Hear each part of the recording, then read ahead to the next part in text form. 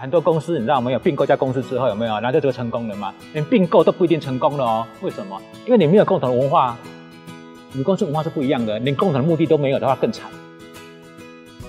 啊，如果说只是某一个第一某一个人有有有好处，另外一个人没有好处，因为只是提供资源，你知道没有？一次 OK，两次 OK，三次，你觉得你会继续提供资源给他吗？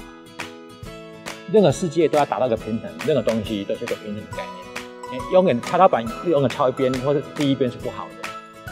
虽然一次两次是可以的，可是你长期来看的话，有没有不应该是这个样子？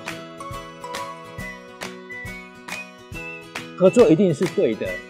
所以说，如果说你的出发点，第一个，我认为说，如果出发点是想只是只是利用别人的话，有没有来搭一个桥而已的话，有没有？我觉得那个合作模式不大会成功。所以说，我会觉得说，共识的养成最重要。所以说，共识养成就是第一个，你要共同的诱因、共同的目的、共同的目标。